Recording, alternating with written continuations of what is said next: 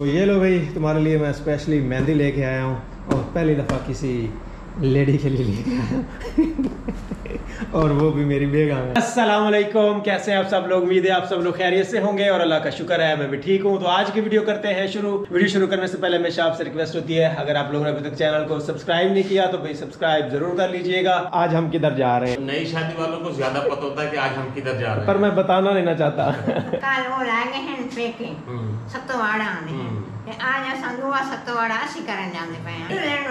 दुल्हन दुल्हन को लेने जा रहे हैं।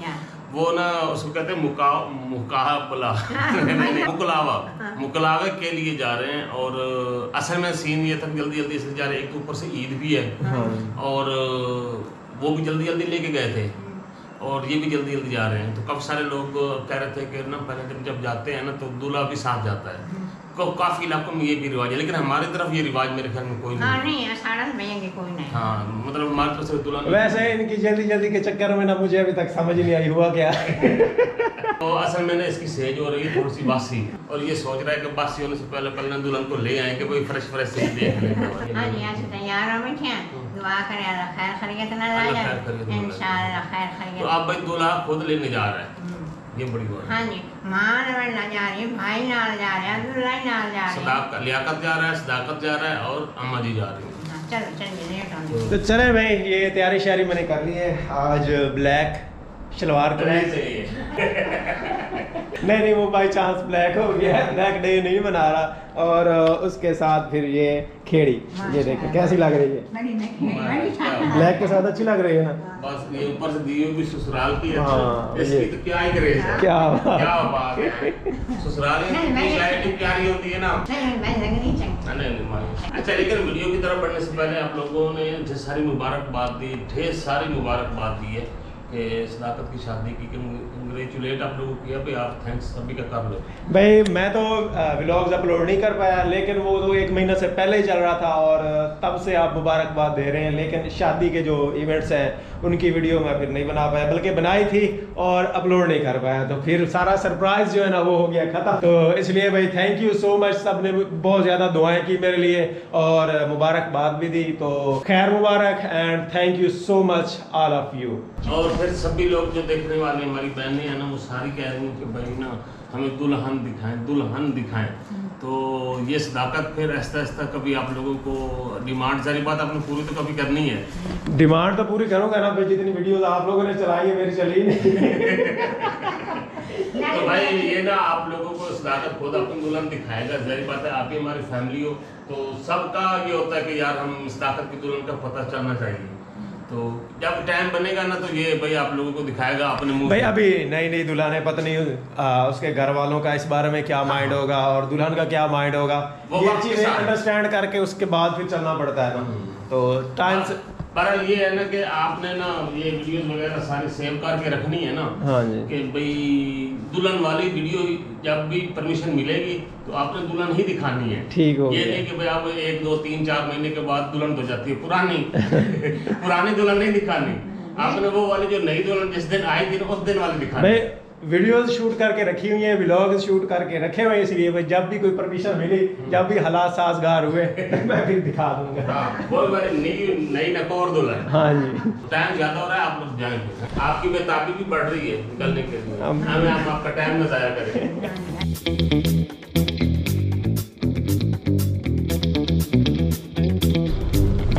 भाई अभी हम टोबा टेक सिंह पहुँच चुके हैं और यहाँ से कोई मिठाई वगैरह और फ्रूट्स वगैरह जो है वो खरीदते हैं। खाली हाथ तो नहीं ना जाना चाहिए। क्या क्या ले लें फिर? अच्छी अच्छी चीज़ें भाई ले चले भाई लियाकत भी साथ में है। वो वैसे तो मिठाई लेने पहुँच ही गए हैं। क्या के देखता हूँ क्या लेते हैं वो। इधर भाई लियाकत पहुँचे हुए हैं मिठाई लेने के लिए। दो किलो काफ़ी है काफ़ी डोबे यही मशहूर मिठाई है कि लाला हो है जी टोबे मशहूर मिठाई है। मैंने कहीं पहले नाम सुना था लाला जी लाला की मिठाई का ना? अभी वही टेस्ट करने के लिए भाई ने दिए। कौन सी ये सारी स्पेशल हैं? चलें भाई ये ट्राई करते हैं। बर्फ़ी है। बड़ी सॉफ्ट बर्फ़ी है ये वाली। ऐसे लगता है खोए वाली है सारी। स्पेशल है। कम मीठा और खोया। घर के लिए भी ले जाते हैं। खाने वाली है मज़े की है बाकी ये भाई मीठी नहीं है ज़्यादा मीठा नहीं है इसमें। जिससे वो चिपचिपापन होता है वो नहीं है। जितना टेस्ट चाहिए उतना मीठे का उतना ही है। ये और वैरायटी है ये वाली। तो इधर भाई हमारा डब्बा पैक हो गया एक मिठाई का। ये लें जी मिठाई का डब्बा। ये पानी। अभी भाई यहाँ से लेने हैं फ्रूट्स और ये भाई आड़ू देखें माशाल्लाह बड़े ज़बरदस्त किस्म के आड़ू पड़े हैं और बड़े बड़े इधर आम। आमों का मौसम आ चुका है। ये कौन सा आम है? ये सिदरी है। कौन सा नहीं है? कौन सा भी आएगा थोड़े अच्छा वो थोड़े दिनों तक आ जाए। ज़बरदस्त आम है सिंगड़ी आम है और इसका साइज़ माशाल्लाह ज़बरदस्त है। और खुशबू भी कमाल की है। ये भाई पेटी ली है और पेटी में इसको पैक करवा रहे हैं। फ्रूट्स वगैरह हो गए तो अभी चलते हैं आगे। पाँच किलो आम तीन किलो आड़ू और ये डब्बा मिठाई का काफ़ी है। और तो कोई चीज़ नहीं लेनी। मिठाई या चंगी लग गई? मिठाई बड़ी मज़े की है वापसी पे हमने भी लेनी है। अच्छा। तो अभी भाई ससुरालियों के सिटी पहुँच गए हैं हम लोग और थोड़ा सा रास्ता भी भूल गए हैं। मैं तो सच में दूसरी दफ़ा आया हूँ।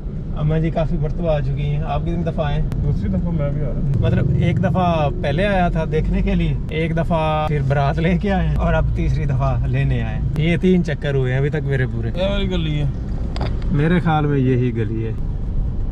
देखते हैं भाई अभी ये गली।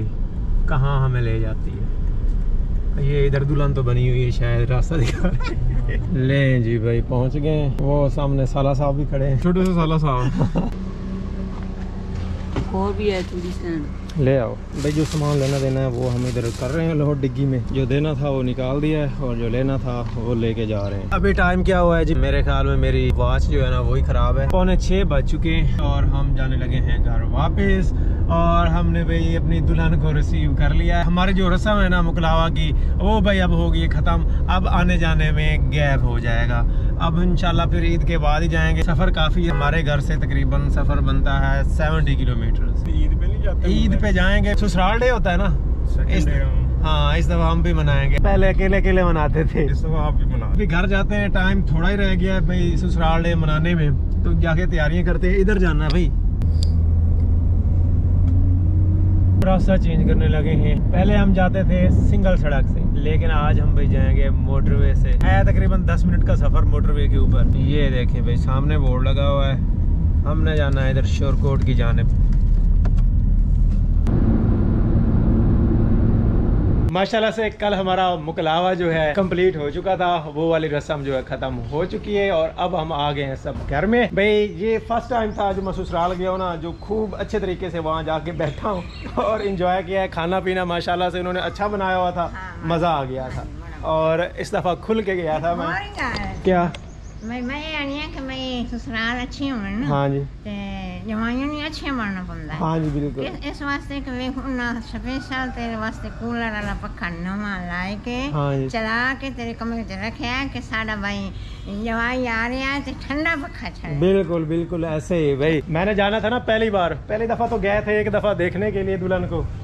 ठीक है मतलब पसंद करना था। पहली दफ़ा तो फिर पता ही नहीं था ना क्या हो रहा है क्या नहीं हो रहा। लेकिन इस दफ़ा गया हूँ भाई तसली से। सारे घर को तसली से देखा है सबको तसली से मिला हाँ, हूँ इंजॉय किया है खाना खाया है। और भाई अपनी दुल्हन को फिर वापस लेके आ गए। शादी पे काफ़ी मसरूफ रहा हूँ। उस मसरूफियत की वजह से ना मैं अपने प्लॉट को भूल गई हूँ। किसी ने पानी नहीं लगाया। ये देखें किस तरह खुश्क हुआ पड़ा तो भाई अब इसको लगा लेते हैं पानी। ये देखें ये वाली जो बेल है ना ये भी मुरझाती जा रही है। अब पानी लगा नहीं बिल्कुल मट्टी खुश्क है। जरा भी इसमें नमी नहीं रही। घर की भी तो देखभाल रखनी है ना। अब तो घर भर गया है ना आबाद हो गया है।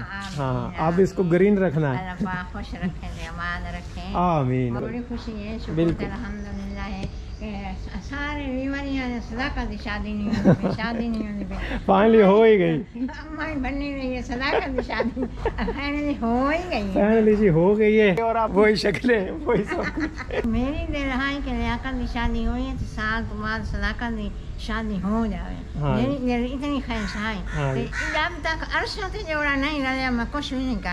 हाँ। जी भाई लियाकत की शादी को कितना टाइम हो गया तीन साल तीन साल बाद मेरी शादी हुई। तो चलें भाई आप घर में सारी खुशियाँ आ गई हैं तो खुशियों को सेलिब्रेट करते हैं कल ईद भी है तो हमारी भाई पहली ईद होने जा रही है और भाई शॉपिंग वगैरह हमने कोई नहीं की वही सारी जो है शादी वाली शॉपिंग वही हमने भाई इस्तेमाल करनी जो कपड़े वगैरह हैं ईद के लिए शॉपिंग करने का टाइम ही नहीं मिला वैसे मेरी सोच थी कि अगर टाइम होता ना तो भाई दुल्हन अभी अभी आई है। उसको मैं ईद की शॉपिंग ज़रूर करवाता लेकिन टाइम नहीं मिला। कल लेके आए हैं मुकलावा आज फिर दूसरा दिन है आज फिर गर्मी गुजारा है। नेक्स्ट डे जो है ईद होने जा रही है। लेकिन हमारे पास कपड़े पड़े हैं माशाल्लाह से हम उन्हीं में से ना कोई ना कोई चला लेंगे। और ईद गुजर लेना उसके बाद फिर हम जाएँगे एक अच्छी सी शॉपिंग करेंगे। शॉपिंग के बाद फिर कोई प्लान बनाएँगे बाहर घूमने फिरने का। आप तैयार है इस दफ़ा? आना है? नाले नाले आना है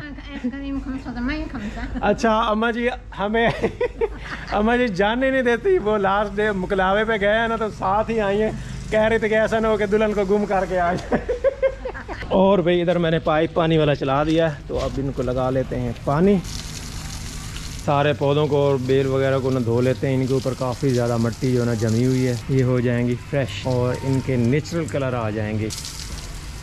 तो भाई, जैसा कि आपको पता है कि कल ईद है और आज रात, चाँद रात के तौर पे मनाई जाएगी।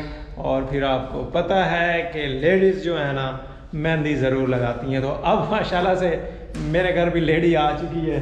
तो उसके लिए लेके आया हूँ मेहंदी। ये देखें। स्पेशली किया हूँ लाने के लिए, क्योंकि भाई इस बार हमारी फ़र्स्ट ईद होने जा रही है इकट्ठे। तो हम चाँद रात सेलिब्रेट करेंगे और इधर आपको दिखाऊँ भाई जो सामान है ना, वो हमने अभी तक इसको खोला ही नहीं है। वैसे का वैसा ही पड़ा है। मैंने कहा भाई जब बेगम आ जाएगी ना तो उसके साथ मिल के सारी चीज़ें ओपन करूँगा। वो अपनी चीज़ें तसली से देख लेगी और फिर उसके बाद सेट भी करेंगे, क्योंकि भाई अभी हमने किचन सेट नहीं किया। मोस्टली जो चीज़ें हैं ना, वो किचन वाली हैं। ये देखें, यहाँ पे बर्तन वगैरह पड़े चूल्हा भी अभी फिट नहीं किया, बल्कि वो चूल्हा मैं सही करवा के लेके आ गया था। उसकी किट चेंज करवा दी थी, लेकिन भाई मैंने एक बहुत ख़तरनाक बात सुनी है। वो ये कि इधर हमारे पड़ोस में ना एक चूल्हा ब्लास्ट हुआ है। इसी तरह का था शायद, या कोई गैस वगैरह लीक हुई है उस वजह से। तो भाई अल्लाह माफ़ करे, बहुत ज़्यादा नुकसान हो गया है। तो अब मैं सोच रहा हूँ कि वो जो चूल्हा है ना, उसको ऐसे ही रहने दूँ। कोशिश करूँगा वापस कर दूँ, अगर वापस नहीं करना या वापस नहीं होता तो भाई वो चूल्हा मैं अब नहीं लगाऊँगा। वो शीशे वाला बहुत ज़्यादा ख़तरनाक है। वो मैं अब नहीं करने वाला, मैं नया चूल्हा लेके आऊँगा मेटल में और वो यहाँ पे लगाएँगे।